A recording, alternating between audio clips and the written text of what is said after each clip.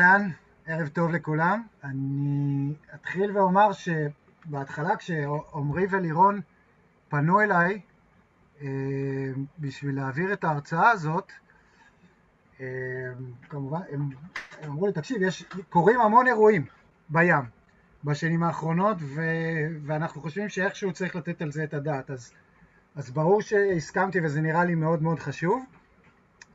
ובכל זאת, רק תוך כדי שישבתי להכין את ההרצאה הזאת, הבנתי עד כמה יש פה נושאים שחשוב לגעת בהם, ש, שרוב האנשים לא, לא נחשפים אליהם, אלא אם כן הם באמת עברו הכשרה של, של צלילה חופשית פרופר, כמו שצריך בקורס, בקורס מסודר.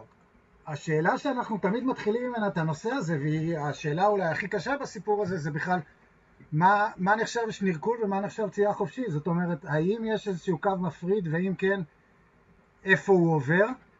ואחד הדברים שאני הולך לנסות לעשות היום זה, זה לענות על התשובה הזאת, לא מתוך ניסיון בהכרח לשרטט איזשהו קו אחד מוגדר שמפריד בין שחור ולבן ואיזושהי הכללה דטרמיניסטית, אלא דווקא להציג את מכלול הגורמים המשפיעים אה, כדי להרחיב את, אה, את יכולת שיקול הדעת של כל מי שעוסק בדבר, בין הוא, אם הוא משנרקל אה, חובב ברמה העממית ובין אם הוא צולל חופשי מוסמך, כי, כי גם צוללים חופשיים מנוסים, גם אני ואחרים, לפעמים נכנסים למים למשהו שהוא לא בהכרח אימון צלילה חופשית פרופר, by the book, כמו שאומרים, שכולל את כל אמצעי הבטיחות וכל עזרי הבטיחות. וגם אנחנו במקרים האלה צריכים לדעת להגדיר לעצמנו מה כן ומה לא, עד איפה אנחנו מוכנים לקחת את הסיפור הזה כרגע ועד לאן להגיע, אם זה בהיבט של עומק ואם זה מהיבטים אחרים שניגע בהם. ולכן אני חושב שהנושא הזה הוא מאוד חשוב.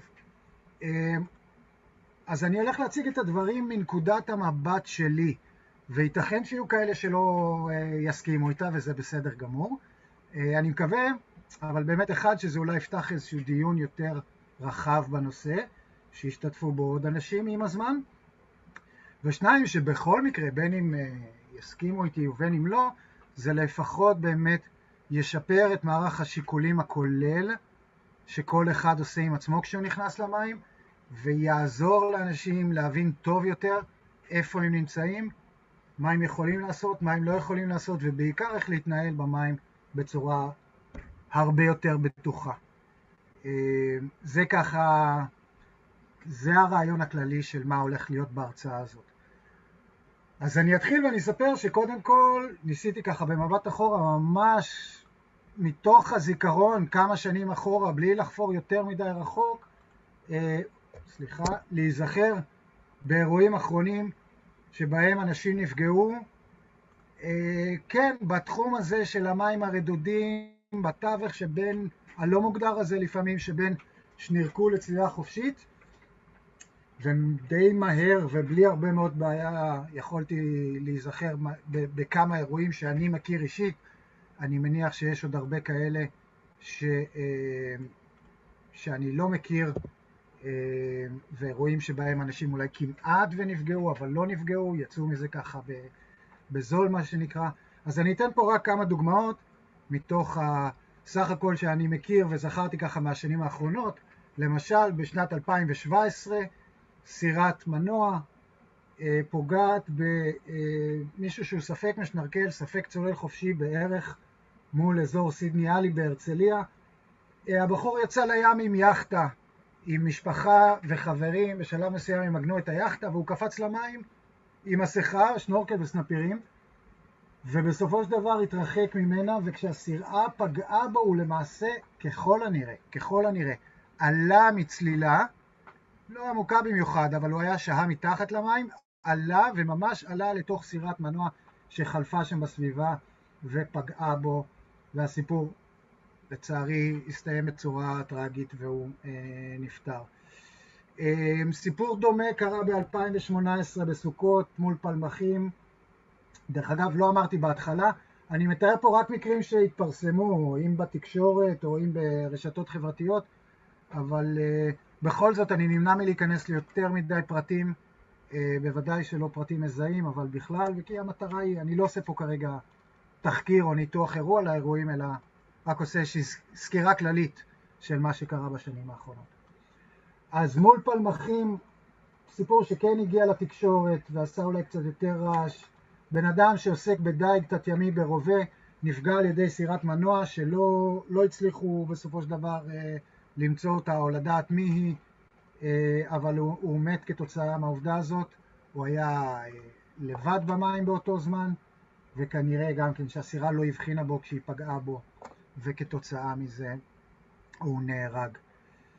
אה, ב-2019 גם סיפור שהיה מאוד מפורסם, בחור צעיר לפני גיוס הלך לבד לעשות אה, צלילה חופשית בסטיל, אה, ומדריך צלילה שעבר שם באזור במקרה, מדריך צלילת סקובה, מצא אותו מוטל על הקרקעית, הוא העלה אותו למעלה, ניסה להציל אותו, ללא הצלחה לצערנו, הבחור נפטר, הסיפור זכה לתהודה תקשורתית כי האיברים שלו נתרמו, ובין השאר הריאה שלו הושתלה אה,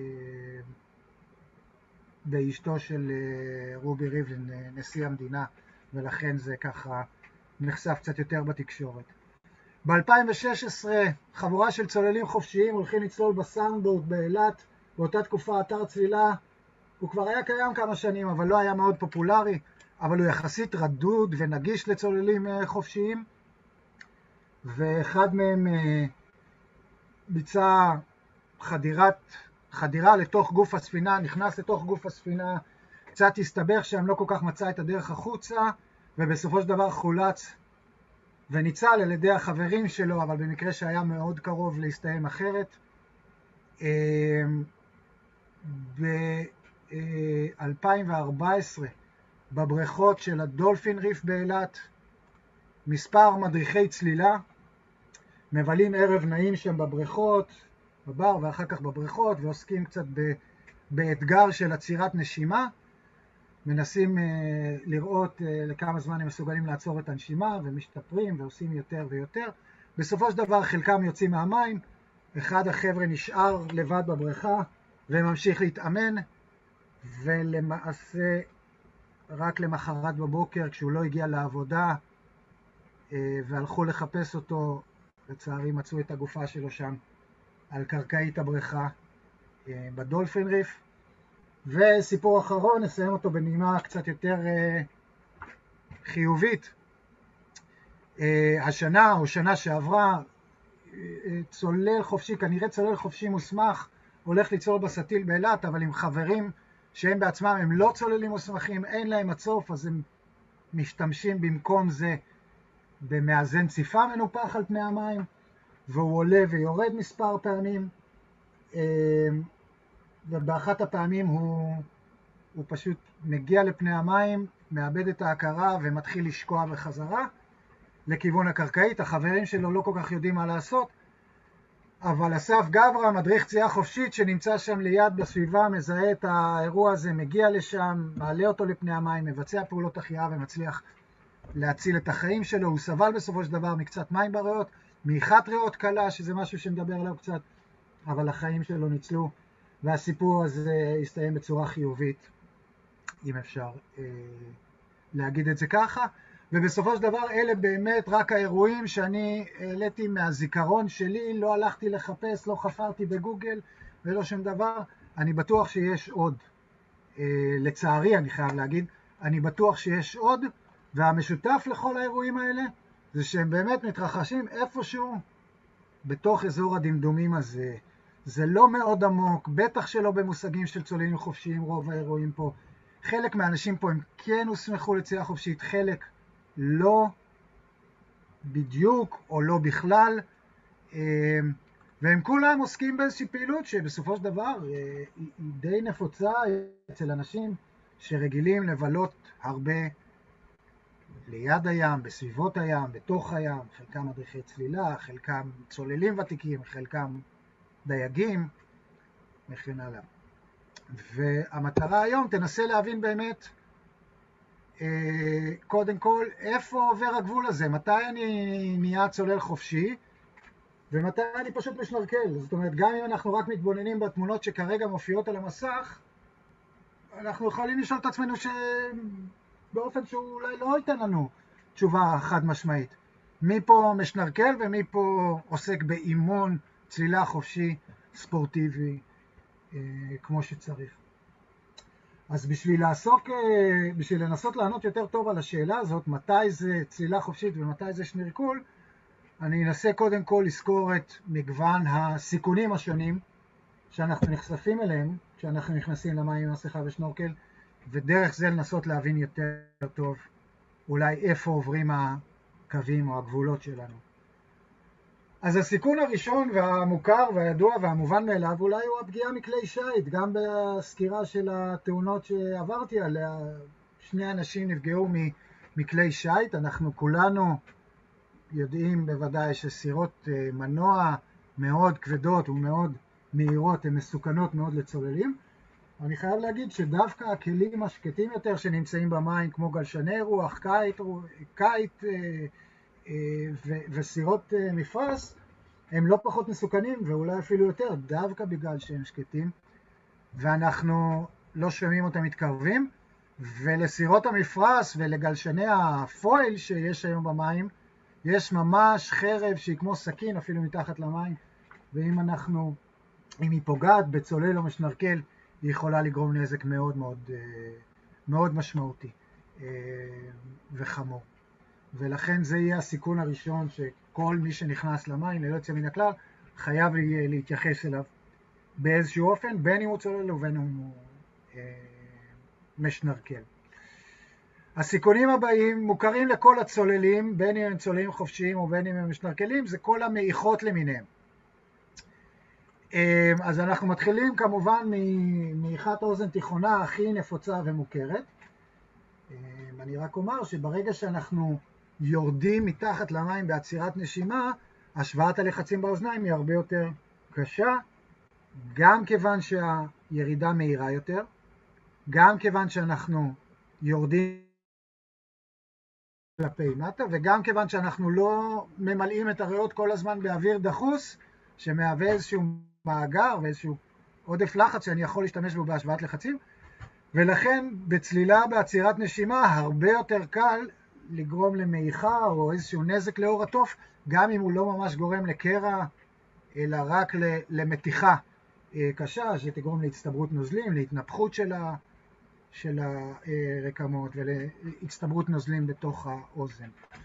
המעיכה השנייה המוכרת מאוד לחלק גדול מהאנשים זה מעיכת סינוס, זה כשאתה מרגיש כאב חד וברור באחד מאזורי הסינוסים מעל או מתחת לעיניים או בעצם הלחי או מעל המצח אה, ואם אתה מתעקש להמשיך ולרדת למרות הכאב או מבצע מספר גדול של עליות וירידות למרות הסינוסים הכואבים אז אחד הסימפטומים שאפשר להתקל בהם זה למשל דימום מהאף לתוך אה, חלל המסכה או כשמורידים אותה.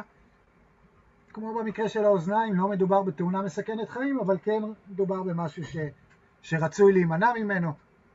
גם עלול להתפתח לאיזשהו סוג של דלקת שאחר כך דורשת אה, טיפול תרופתי, אבל לא, לא אירוע מסוכן במיוחד, אלא פשוט חוסר נעימות גדולה, אבל ככל שאתה תמשיך להתעלל בסינוסים שלך באותו אופן, אז אתה תגרום להם להפוך להיות רגישים יותר ויותר וחשוף יותר עם הזמן לזיהומים, דלקות ודברים מהסוג הזה. דבר הבא שיכול להופיע זה מעיכת מסכה למי שמתקשה בהשוואת לחצים באופן כללי, זה יכול להיות שבטח החל מעל עומק של כמה מטרים, גם לא יצליח להשוות את הלחצים בתוך חלל המסכה, ואז היא תיצמד לפנים. ותיצור שאיבה חזקה וואקום שיכול להתגבר עד כדי יצירה של שטפי דם מסביב לעיניים וממש בלחמית, בחלק הלבן של המים, לעיניים, לעלות עד שזה גורם לצוללים לעלות מהצלילה עם עיניים אדומות ונפוחות. זה נראה קצת מפחיד כשזה קורה, זה לא נורא מסוכן, אבל זה כן בפירוש משהו ש... שרצוי מאוד להימנע ממנו ולא להסתבך איתו, ופשוט כל תחושה של אי נוחות או כאב באזור הפנים, בין אם זה סינוסים ובין אם זה מסכה, פשוט לא להמשיך את הירידה ו- ו- ולא להמשיך לצלול. והדבר האחרון, אה, שאולי הוא המסוכן באוסף המעיכות, זה מה שנקרא מעיכת גרון או מעיכת ריאות.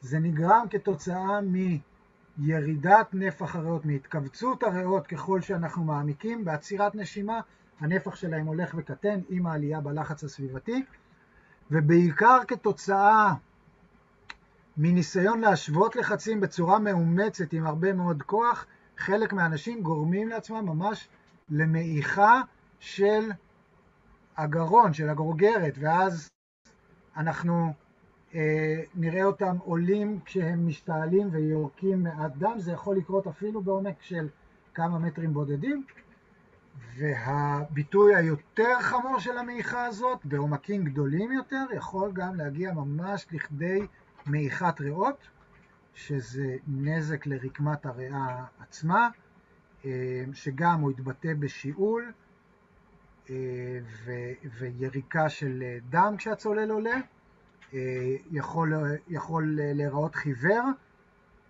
סימנים של חולשה והשתעלות מרובה, גם דופק גבוה אחר כך וסטורציה נמוכה של חמצן כש, כשבודקים אותו.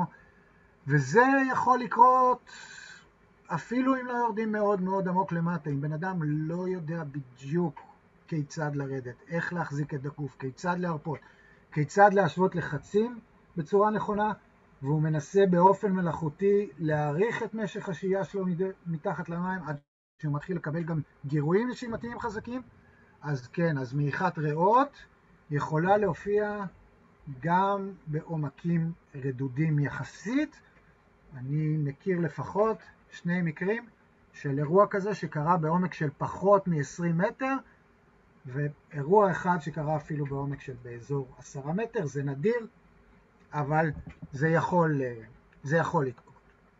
מעיכת גרון בעומקים רדודים תהיה נפוצה הרבה יותר במצבים כאלה. זה לגבי כל הנושא של מעיכות.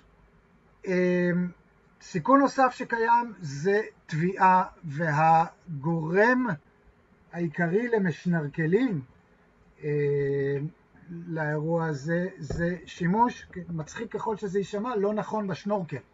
אוקיי?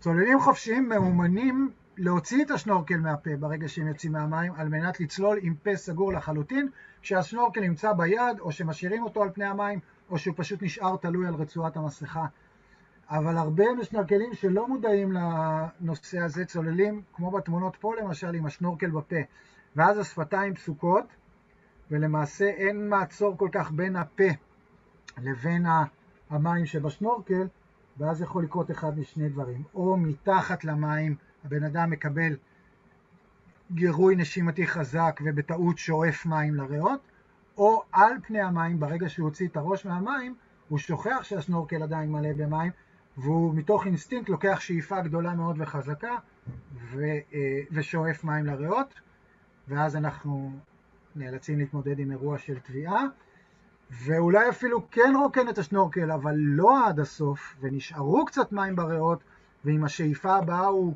הוא שואף אותם לגרון, נוצר מה שנקרא לרינגוספזם, נעילה של, של הגלוטיס בתחתית הגרון, ואנחנו מקבלים אירוע של טביעה יבשה, אלה אירועים, אלה אירועים חמורים, שזה מצחיק, כי לכאורה אתה חושב, מה כבר אפשר ללמוד על שימוש בשנורקל? אז מסתבר שצריך להיות מודע גם לגבי עבודה נכונה עם שנורקל כאשר אה, נכנסים למים, כדי להימנע מסיכונים אה, מיותרים. וכמובן כל הסיכונים הבאים שמצטרפים לחבורת הסיכונים שלנו הם הסיכונים שקשורים בהיפוקסיה. היפוקסיה זה כמובן רמת חמצן נמוכה, שנגרמת כתוצאה מעצירת נשימה ממושכת. אה, במקרה שלנו, אה, מתחת למים. אה, אז האירוע הראשון זה מה שאנחנו קוראים לו סמבה, אוקיי? אנחנו קוראים לו סמבה כי בניגוד ל... לכישורים שמפגינים החבר'ה שפה ב... על המסך לפנינו, המשמעות של סמבה היא אובדן שליטה מוטורית. זאת אומרת, זה אירוע שמתרחש כשהצולל חוזר אל פני המים, אחרי שהוא שהה שהייה ממושכת מתחת למים, ולמעשה מגיע לפני המים כאשר רמת החמצן נמוכה אבל גבולית. הוא על הקצה, הוא לא מאבד את ההכרה, אבל הוא גם לא לגמרי בהכרה, והוא במצב של מה שנקרא אובדן LMC או אובדן שליטה מוטורית. ולמעשה, השלב הכי מסוכן בצלילות מהסוג הזה, הוא מתרחש עד כ-20 שניות מהרגע שהצולל אה, הוציא את הראש מהמים וחזר לנשום, כי לוקח זמן מרגע שהוא חזר לנשום ועד שהחמצן נספג ברקמות ומגיע בחזרה אל המוח, ואז אם הוא נמצא במצב גבולי, בשניות האלה הוא יחווה אובדן שליטה מוטורית, זאת אומרת רעידות, חוסר יכולת להחזיק את עצמו בצורה יציבה, ראש שנופל או רועד ומבט לא אה, מפוקס וגם חשיבה לא כל כך בהירה, ואז האירוע ייראה כמו מה שאנחנו נראה פה עכשיו על המסך לפנינו. אנחנו רואים את הבחורה הזאת מוציאה את הראש מהמים אחרי עצירה ממושכת. בהתחלה היא נושמת ונראית בסדר, ופה היא מאבדת שליטה על הידיים ועל השרירים, והראש צונח והסנטר מונח על דופן הבריכה, וכיוון שהיא נמצאת בסביבה מוגנת ובטוחה, אז יחלפו עוד כמה שניות, היא תיקח עוד כמה נשימות, ואז היא תסיים את זה במצב שהיא בסדר, היא אומרת I'm okay, היא נותנת סימן, והסיפור הזה נגמר, במקרה הזה כמו שצריך, בגלל שהוא התנהל כמו שצריך בסביבה שבה זה אמור להתבצע.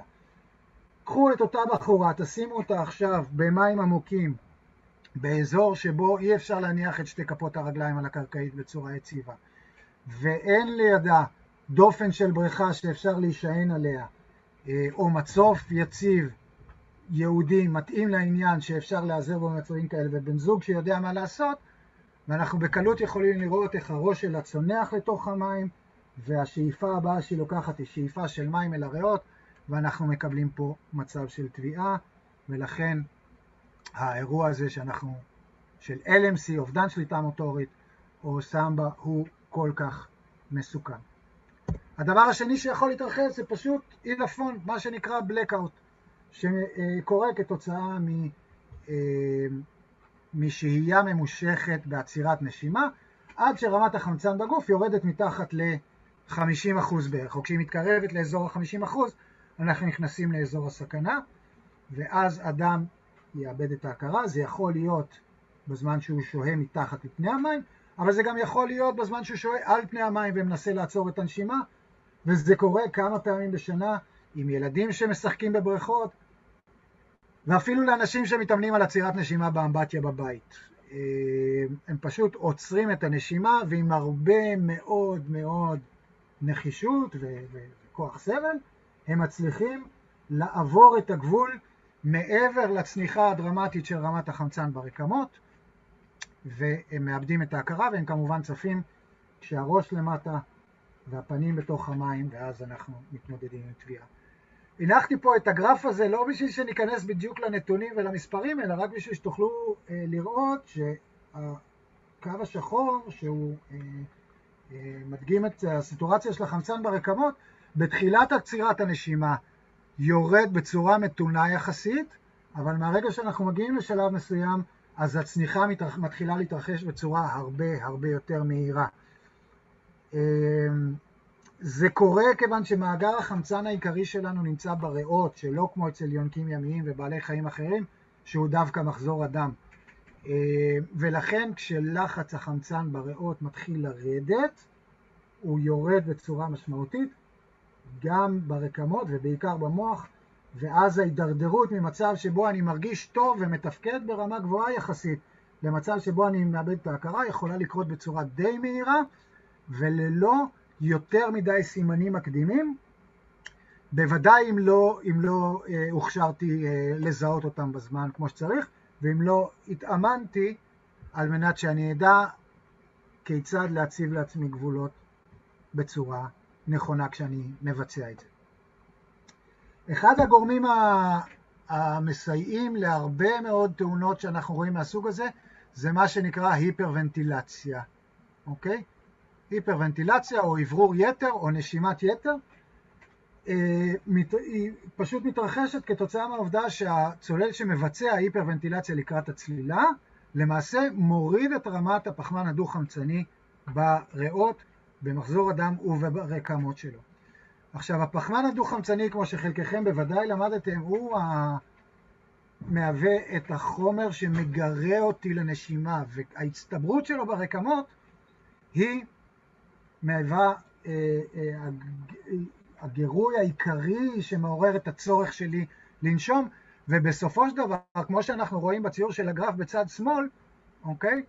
כאשר הוא מגיע לרמה מסוימת, אני כבר לא אוכל לעצור יותר את הנשימה, ועכשיו אני אתחיל, אני אוציא את הראש מהמים ואני אתחיל לצלול. אז בגרף השמאלי אנחנו רואים צלילה תקינה יחסית, זאת אומרת אנחנו רואים נשימה רגילה לפני הצלילה. במהלך הצלילה קו החמצן האדום ילך וירד באופן הדרגתי, אוקיי? רמת ה-CO2 בקו הכחול תלך ותעלה באופן הדרגתי, וברגע שהיא תגיע לקו המקווקו הכחול, אני אסיים את הצלילה, אני אעלה לפני המים, כאן אני אתחיל לנשום, ואני למעשה מסיים את הצלילה. תקין לחלוטין. בגרף הימני מה שאנחנו רואים זה שאני מתחיל את הצלילה שלי לאחר היפרוונטילציה עם אותה רמה של חמצן, אבל רמה הרבה יותר נמוכה של CO2, אני מתחיל אותה מרמה הרבה יותר נמוכה. ולכן בשלב שבו ה-CO2 מצטבר לרמה שבה הוא מגרה את מנגנון הנשימה שלי ומכריח אותי לנשום, עד שאני אגיע אליו רמת החמצן כבר תרד משמעותית ותרד אל מתחת לקו האדום המקווקו שהוא קו הבלקאוט, קו העילפון שלי, ולכן אני לאחר היפרוונטילציה הרבה יותר בקלות יכול להביא את עצמי למצב של בלקאוט, של עילפון. והרבה משנרקלים או צוללים חובבים מבצעים היפרוונטילציה בלי להיות מודעים לסיכון שהיא מהווה בגלל שהם עושים את זה בצורה אינסטינקטיבית, בגלל שהם ראו את זה באיזה סרט, בגלל שאיזה חבר אה, לימד אותם לעשות את זה, ואז אנחנו נתקלים בזה שחלק גדול מהאירועים של הבלקאוט ושל הסמבה ושל תאונות מהסוג הזה, כשאנחנו מתחקרים אותם, אנחנו מגלים שהם התרחשו כתוצאה מביצוע של היפרוונטילציה לפני הצלילה. והתופעה האחרונה שקשורה לנושא הזה, זה הנושא של, אנחנו קוראים לו עילפון מים רדודים, ולמרות שבחלק גדול מהמקומות הוא מוצג כתוצאה של היפרוונטילציה, שהיא בהחלט יכולה להיות גורם מסייע אה, לנושא הזה, הסיבה העיקרית לעילפון מים רדודים היא שהייה בעומק, אוקיי? זאת אומרת, למעשה מה שקורה כאשר צולל יורד לעומק, זה שהוא אה, מעלה את הלחץ הסביבתי שבו הוא נמצא, וכתוצאה מזה נפח הריאות יקטן ולחץ החמצן בריאות יגדל, ובהתאמה גם לחץ החמצן ברקמות. זאת אומרת, כל עוד הוא שוהה בעומק, לחץ החמצן ברקמות ובעיקר במוח יישאר גבוה. אבל כשהוא יחליט שיגיע הזמן לעלות, אם כתוצאה מגירוי נשימתי ואם כתוצאה מסיבה אחרת, עם העלייה המהירה לפני המים, גם הלחץ הסביבתי ירד במהירות, וביחד איתו לחץ החמצן ברקמות, ואז לחץ החמצן במוח נופל בבת אחת, ואנחנו מקבלים את התוצאה שהיא עילפון בשלב קרוב מאוד לפני המים, אה, ולכן זה נקרא עילפון מים רדודים. כמובן שהכי מסוכן זה שילוב של כל הגורמים האלה ביחד, זאת אומרת כאשר צולל שלא עבר את ההכשרה המתאימה, לא מכיר כראוי את המגבלות, גם יורד לעומק שהוא לא צריך להיות עומק גדול מדי, שלושה ארבעה מטר זה מספיק בשביל ליצור את האפקט הזה של עילפון מים רדודים, ועוד מחבר לזה במודע או שלא במודע כמה נשימות של היפרוונטילציה, אז אנחנו מקבלים פה אה, צלילה ברמת סיכון מאוד מאוד מאוד גבוהה, וחלק גדול מהאירועים הטראגיים שאנחנו פוגשים אם בדייג בים תיכון ואם באירועים אחרים באילת, בסטיל ובמקומות אחרים, קשורים באחד או יותר מהגורמים האלה. ועכשיו, כשאנחנו מבינים את זה, אפשר לנסות אולי קצת יותר טוב, לנסות לענות לשאלה, להבין, אוקיי, אז מתי זה צלילה חופשית ומתי זה שנירקול?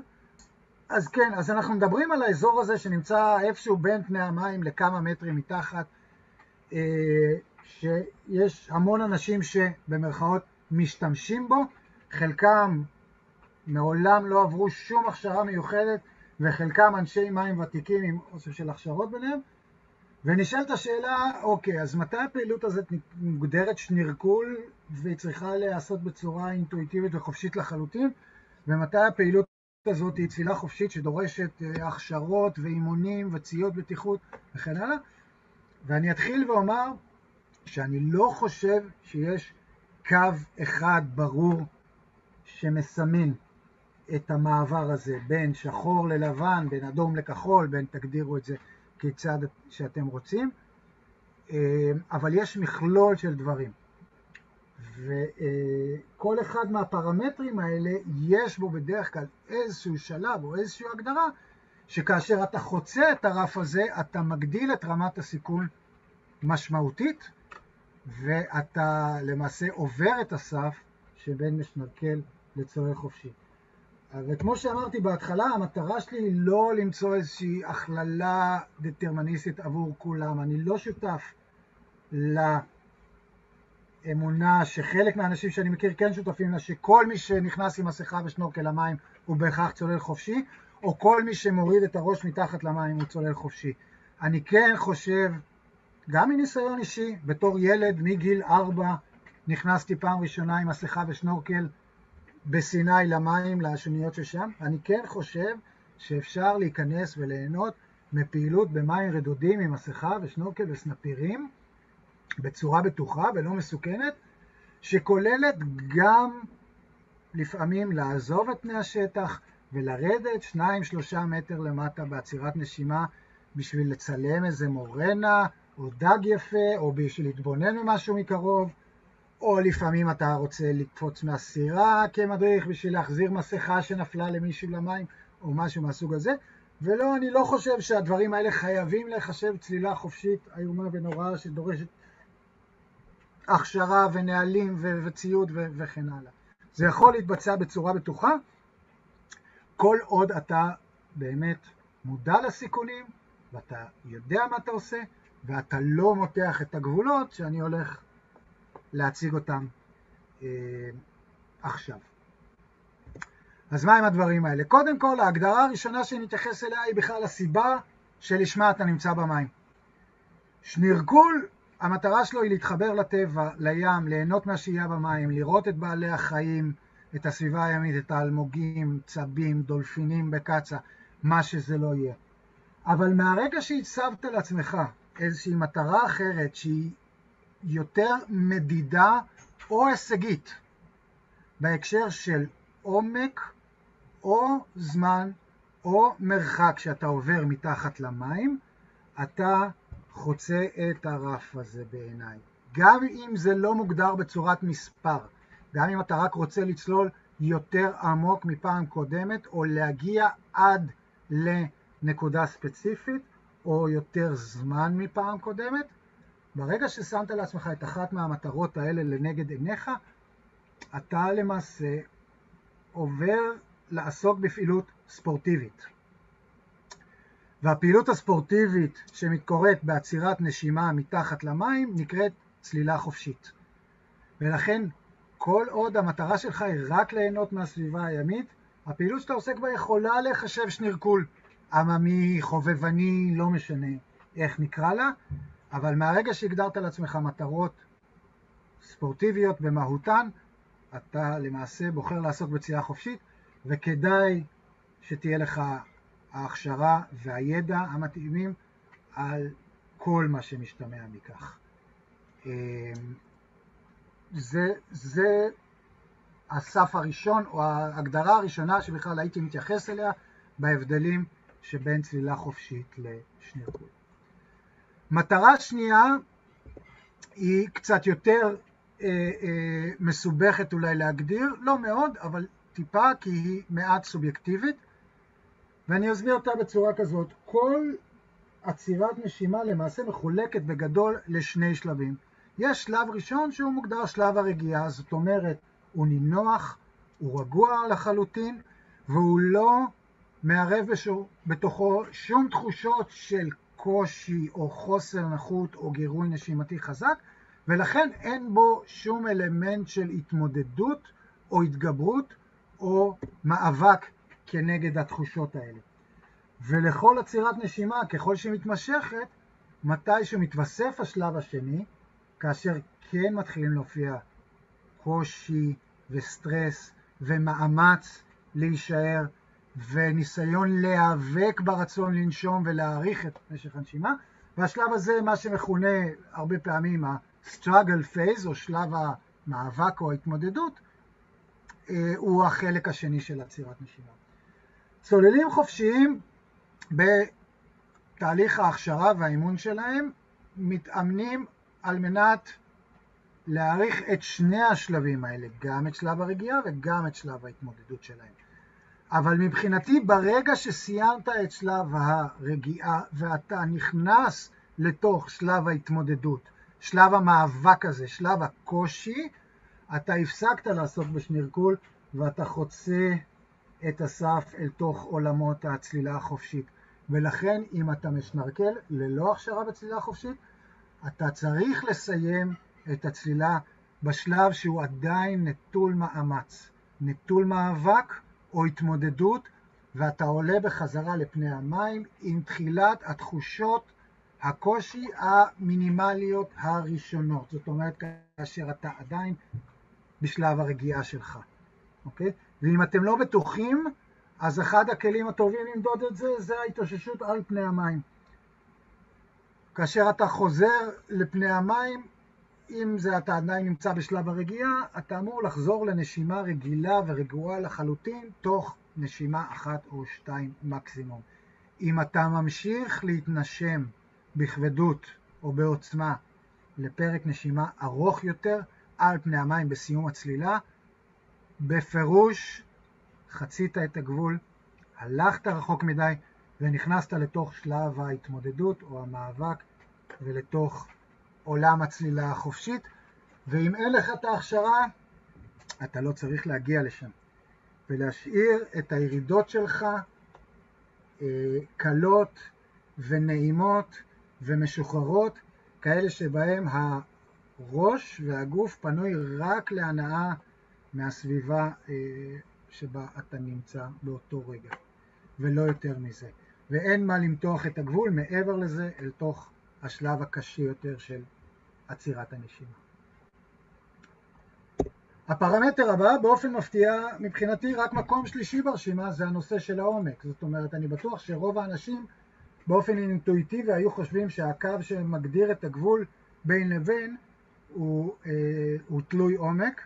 אני יכול אה, לומר ודאות שלא רק שאפשר לבצע פעילות של צלילה חופשית במים רדודים, אה, יש גם תחרויות צלילה חופשית שמתנהלות בבריכה במים רדודים מאוד, אם בעצירות נשימה סטטיות לפרקי זמן ממושכים ואם בצלילות דינמיות למרחקים גדולים.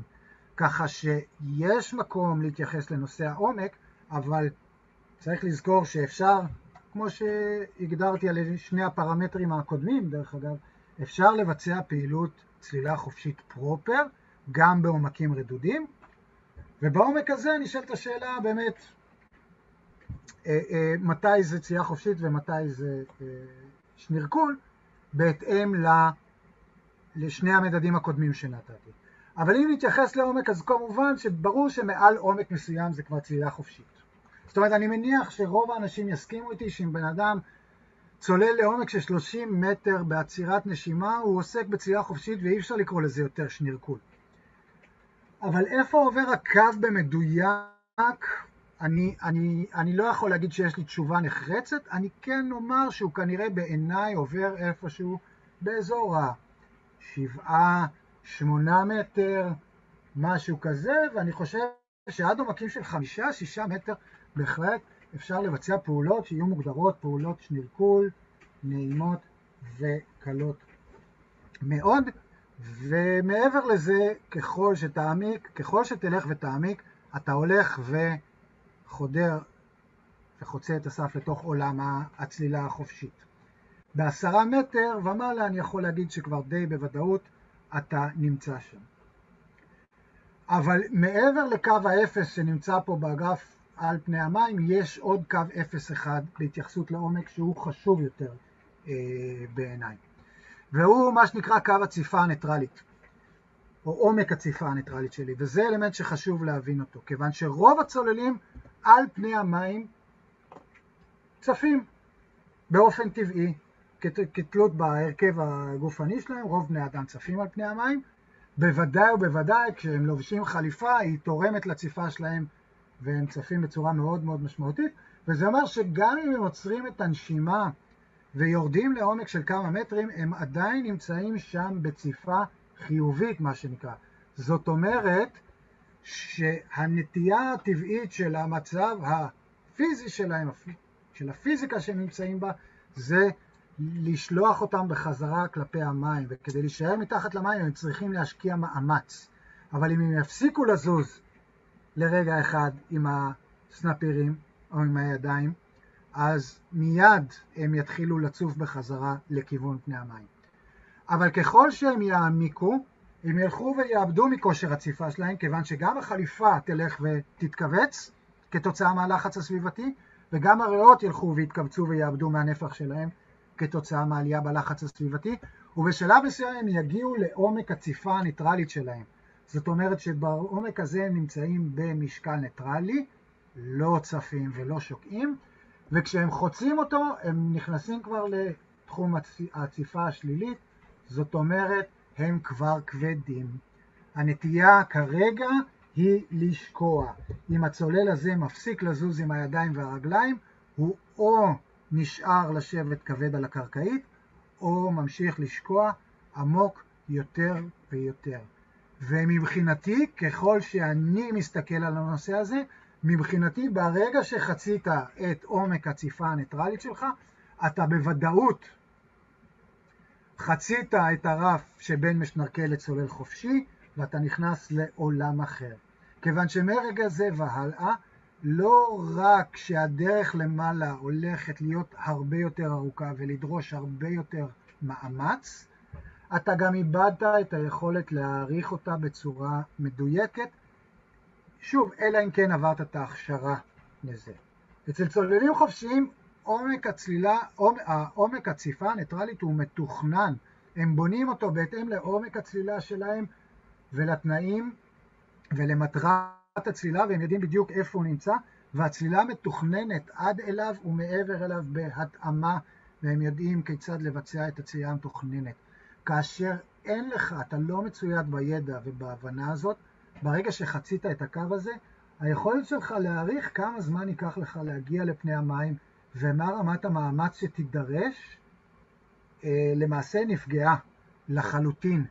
ובעצם הדרך למעלה הולכת לדרוש הרבה יותר מאמץ. ואם אתה שוהה זמן מסוים בקרקעית עד שנדמה לך שהגיע הזמן לעלות למעלה, תצרפו לזה את מה שהסברתי קודם על עילפון מים רדודים, ועכשיו כל מטר של עלייה בדרך למעלה דורש יותר מאמץ, יותר עבודה עם הרגליים, יותר בעידות סנפיר, וכל הדרך למעלה נמשכת יותר זמן ממה שתכננת. אה, הסיכוי לתאונה או לאירוע לא נעים עולה משמעותית. ולכן אם אתה משנרקל, לטעמי, אתה חייב להישאר מעל קו הציפה הניטרלית שלך. זאת אומרת, בכל רגע נתון שבו אתה מפסיק לזוז, אתה אמור להרגיש מיד שאתה מתחיל לעלות כלפי מעלה.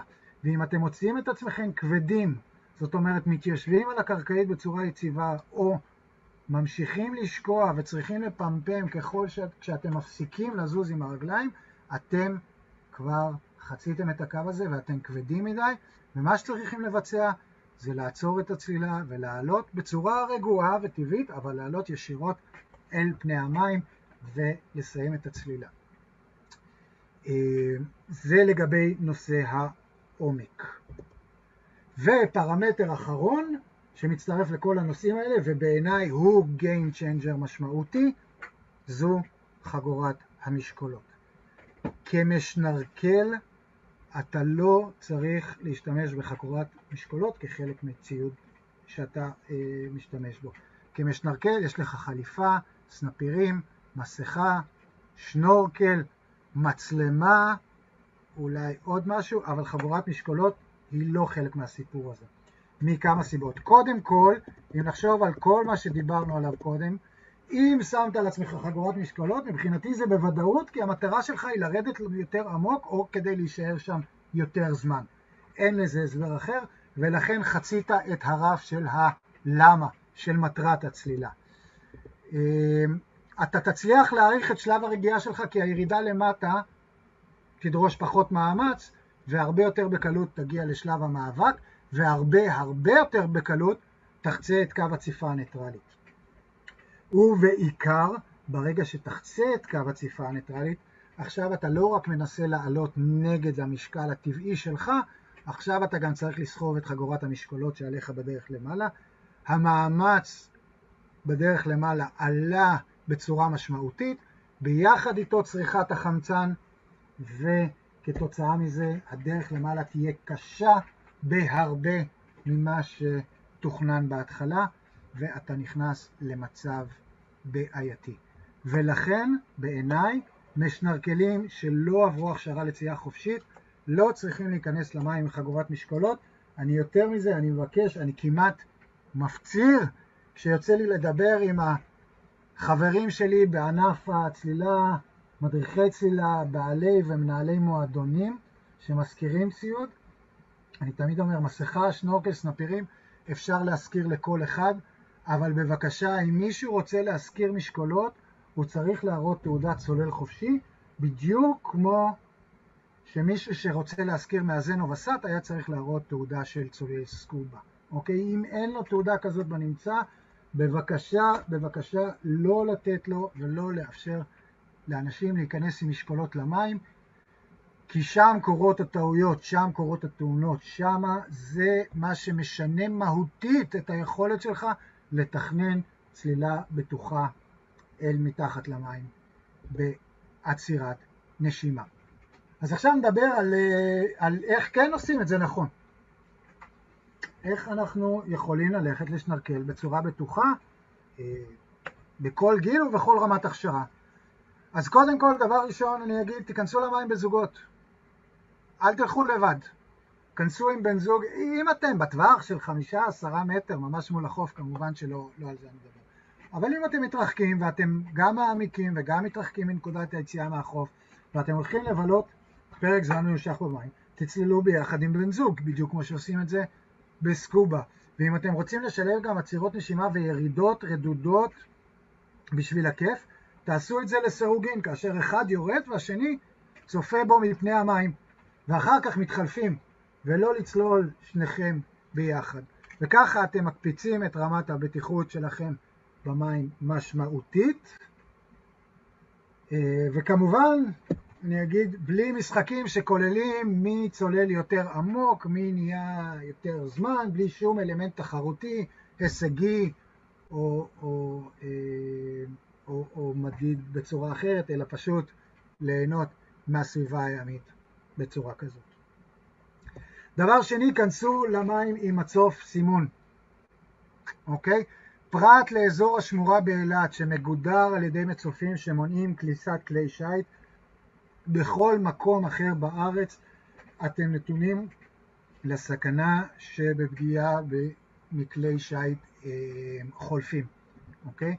אתם לא יכולים לתאר לעצמכם עד כמה בלתי נראים אתם לנהג כלי שיט, גם אם הוא מאוד מאוד זהיר, גם בים שקט, ובוודאי ובוודאי אם יש טיפ טיפה סוול או צ'ופ, כבר מאוד מאוד קשה לראות אתכם על פני המים, ובוודאי אם אתם משלבים עם זה גם ירידות אל מתחת לפני המים ועלייה בחזרה, הסיכוי שאם אין לכם מצוף שמסמן את מיקומכם על פני המים בצבע בולט כמו המצופים בתמונה ואיזה דגל מתנפנף או משהו דומה, הסיכוי להבחין בכם הוא נמוך מאוד וסיכויי הפגיעה עולים משמעותית. אז בבקשה, להשתמש במצופי סימון.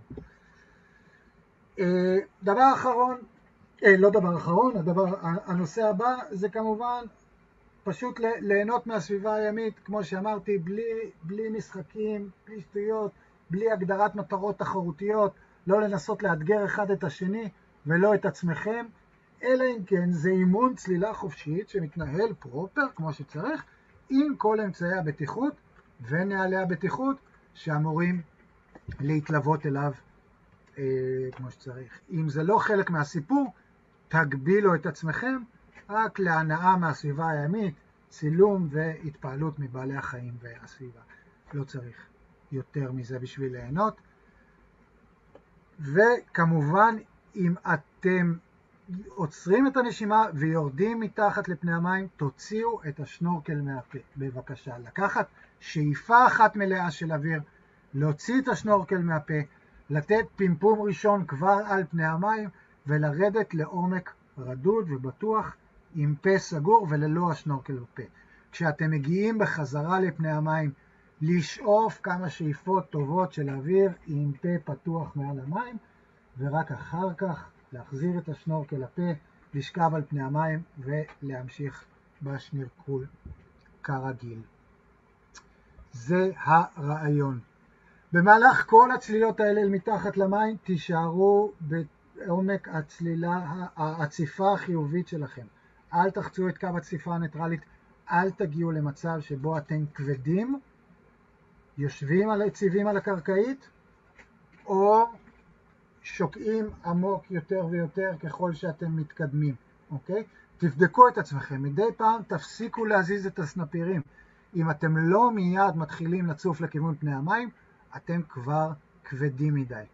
נא לקחת בחשבון, חשוב מאוד, שאנשים עם אחוז שומן נמוך, אנשים רזים במיוחד עם אחוז שומן נמוך, בעיקר כשהם נכנסים למים בקיץ ללא חליפה, עומק הציפה הניטרלית שלהם יכול להיות רדוד מאוד, שלושה או ארבעה מטר.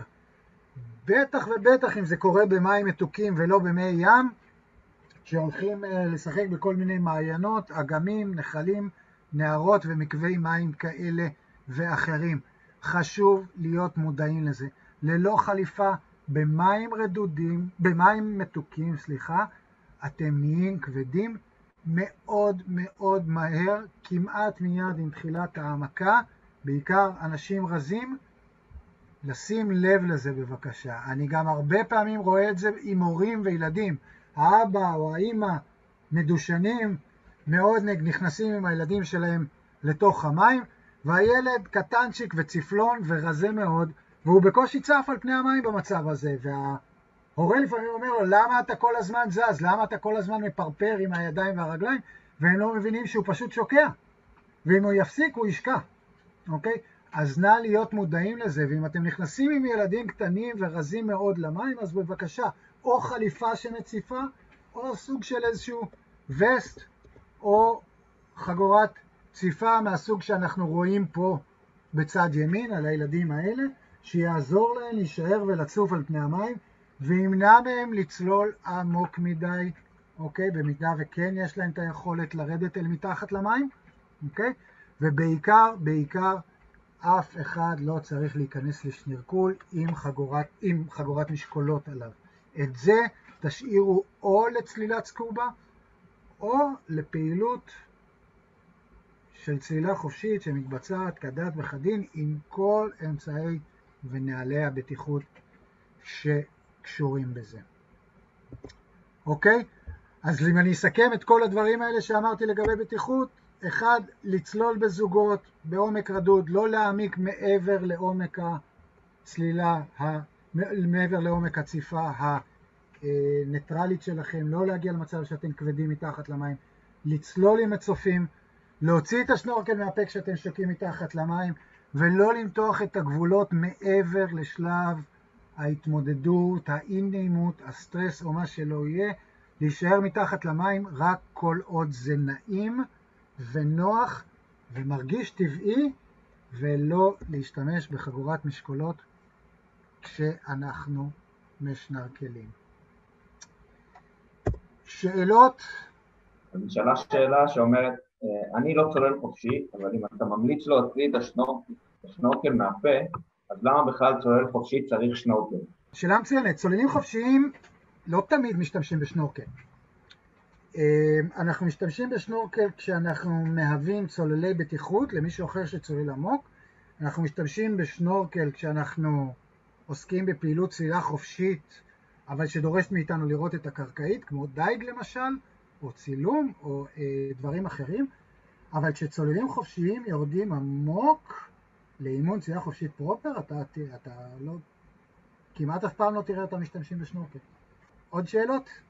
שאלה עוד שאלה, עד כמה משתנה הגיל והמשקל אה, משמעותי בצלילה חופשית? אה, לגיל כשלעצמו אין משמעות בהיבטים של מה שהצגתי פה כרגע. אם אנחנו מדברים על ההרכב הגופני, אז כן, לרוב האנשים יש נטייה לעלות במשקל כתוצאה מעלייה באחוזי השומן כשהם מתבגרים, ושומן משמעותו ציפה במים.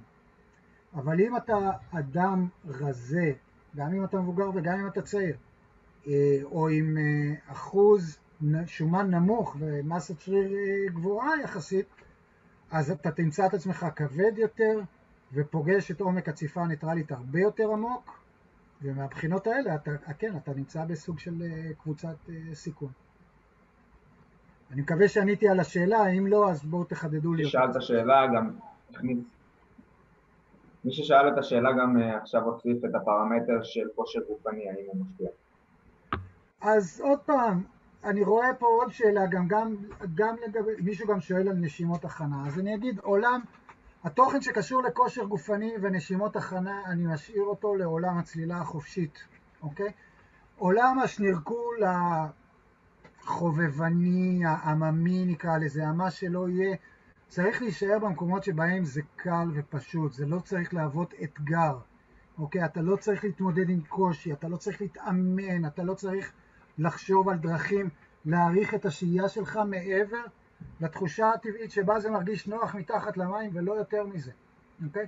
כל הדברים האחרים, כל ניסיון להעריך את השהייה, למצוא טכניקה טובה יותר, דרך טובה יותר, להיות יותר זמן או יותר עמוק או יותר רחוק מתחת למים, בהכרח יוגדר כפעילות ספורטיבית ולכן ישתייך לעולמות הצליעה החופשית.